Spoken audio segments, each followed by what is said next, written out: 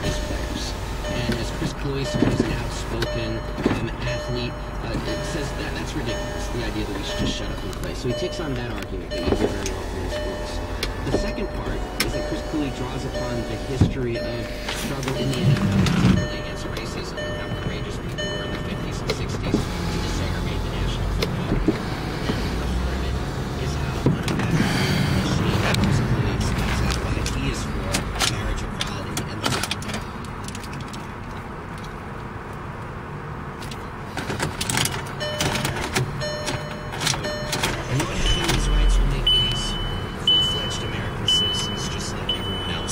With the freedom to pursue happiness and all that entails.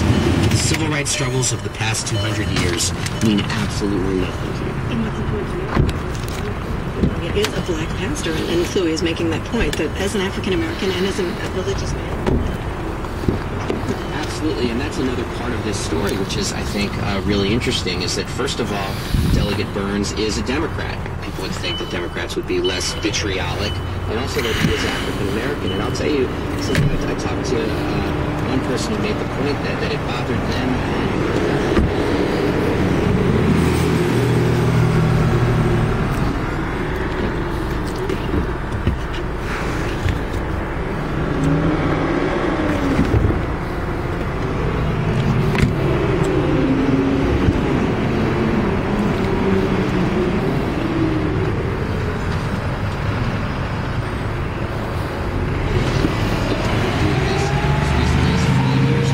But really, since 2009, 2010, a whole layer of players have come forward and spoken out. Players like Steve Fujita, the Cleveland Browns, Michael Irvin.